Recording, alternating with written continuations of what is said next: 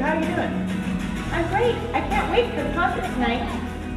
As soon as I get ready, I'll be right there to pick you up.